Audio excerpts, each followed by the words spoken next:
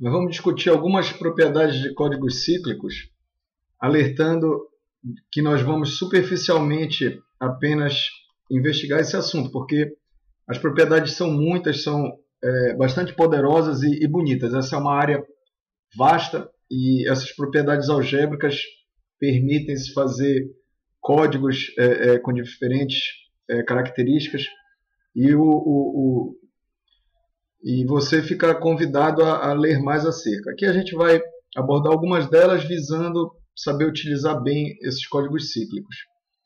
Então, é, se a gente considerar né, dentro de um conjunto de polinômios é, que fazem esse código, existe um, um polinômio mônico, e esse termo aqui é para significar que o coeficiente do, do monômio, do termo, é, de mais alto grau é 1. Então, isso daqui simplifica um pouco, ou seja, eu já começo com, com esse termo sendo 1. Pois bem, existe então esse polinômio g de x, que tem um grau menor que, que n, que esse grau então é denotado como r, e esse g de x vai fazer o papel da matriz geradora no, nos códigos de bloco que não são cíclicos.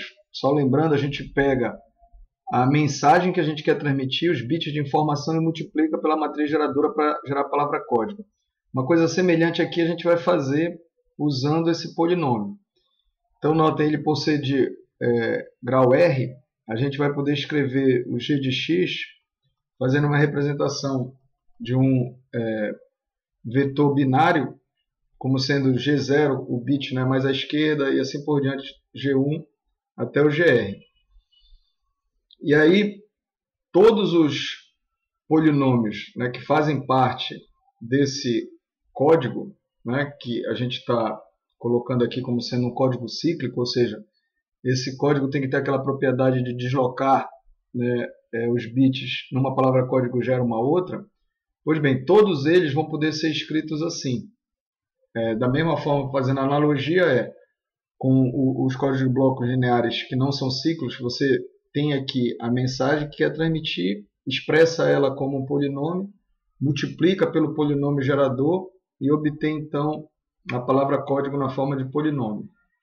E aí, como eu disse, há várias propriedades, mas uma delas aqui é que esse polinômio g de x ele é sempre um fator de x de n mais 1. Então a gente vai ver adiante que na hora que se quer procurar polinômio g de x, essa é uma, uma propriedade que é importante. Né? Ele acaba sendo, é, por construção desses códigos cíclicos, sempre um fator de xn mais 1.